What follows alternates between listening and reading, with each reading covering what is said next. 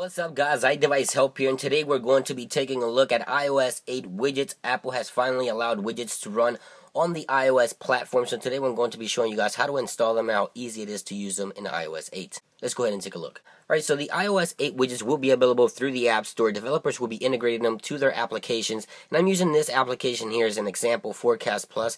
This application was actually built by a developer who developed widgets in the jailbreak community. And now he's bringing them over to the App Store because Apple is now allowing this. Now, I bought the, the standard version, the weather version only, but you can also buy packages. And once you go to download applications, you can go ahead and search on the description and it will let you know if the actual application allows widgets or supports widgets for iOS 8. If it does, once the application is downloaded to your Springboard, it's very simple. Some widgets work different than other. For an example, I have Evernote. I can just simply go ahead here into my notification center and simply hit edit and add.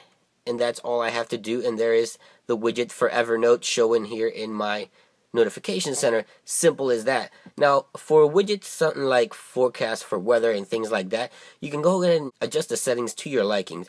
Now, you have several layouts and different things that you can adjust. For an example, this application here uh, provides Celsius or Fahrenheit. You also can choose any language that you prefer, and also the compact layout and always show forecast. Those are off, so I'm always going to show forecast in the compact layout.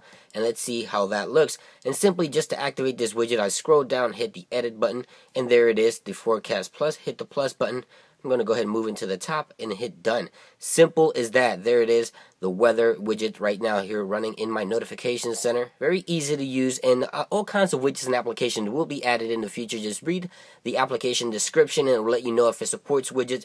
I think Apple did a great move by supporting these widgets now with iOS. So here you guys have it. That is how simple it is to install widgets in iOS 8 with the new widget support. So if you enjoy this video, please thumbs up. I really do appreciate when you guys thumbs up my videos. Don't forget to subscribe if you haven't already. A lot of cool videos coming your way. And of course, like always, you can follow us on Facebook, Twitter, and Google+. All the links will be down below. And I will catch you guys real soon. Peace.